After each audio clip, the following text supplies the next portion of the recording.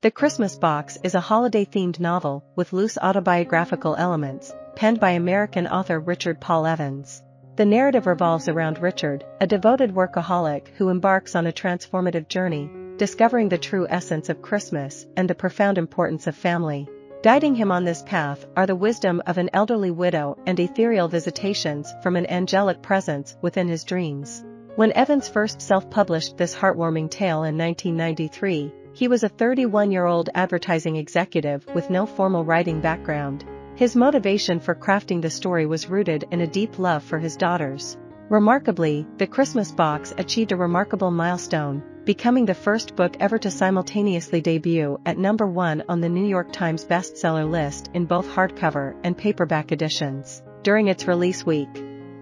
Over the subsequent quarter century, Evans has authored 31 other best-selling books in addition to this beloved classic. The book is structured into six chapters followed by an epilogue. The opening chapter, The Widow's Mansion, introduces a young couple, Richard and Keri, along with their baby daughter, Jenna. They take up residence in the home of an elderly widow, Mary Ann Parkin, where they assume the roles of caretakers, cooks, and housekeepers in exchange for lodging and meals. This arrangement suits them well as Richard's tuxedo rental business continues to flourish. In the subsequent chapter, simply titled The Christmas Box mirroring the book's title, a significant discovery unfolds. While exploring the attic of the Grand Mansion, Richard and Keri's brother, Barry, stumble upon an exquisitely crafted Christmas box. It is described as follows, burled walnut, intricately carved, and polished to a high sheen. The box measures approximately 10 inches in width, 14 inches in length, and half a foot in depth, offering ample space for a sheet of stationery to lay flat inside. In the third chapter, titled The Bible Box, Richard seizes a rare opportunity to break away from his relentless work routine and share a meal with his wife, their child, and Mary, albeit only on Sundays following church services. Originally, their agreement dictated that meals would be consumed separately from Mary.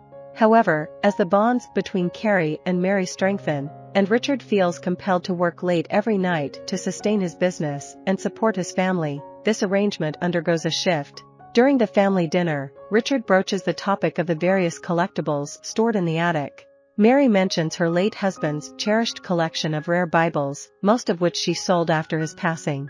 She retained a few of his favorites, including one with a peculiar error where the seventh commandment reads, Thou shalt commit adultery instead of the correct Thou shalt not commit adultery. Mary finds this mistake more amusing than advocating for adultery. Chapter 4, titled The Dream, the Angel, and the Letter, delves into Richard's deteriorating sleep patterns. Even before relocating to Mary's mansion, the stress of his relentless work routine has been taking a toll on his rest.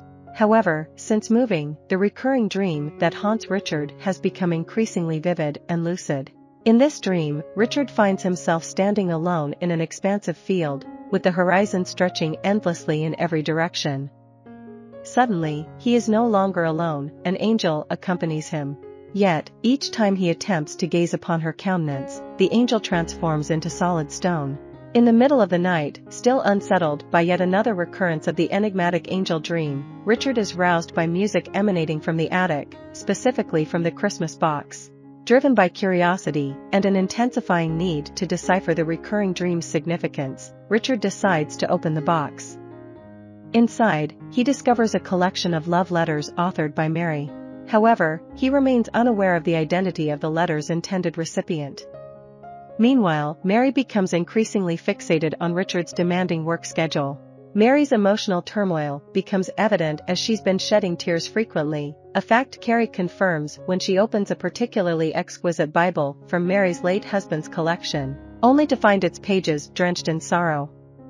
Before long, the harsh reality comes to light, Mary is afflicted by an inoperable tumor that exerts pressure on her brain, and her time on this earth is likely limited. In chapter 5, titled The Stone Angel, Richard takes the love letters to Mary's neighbor, Steve.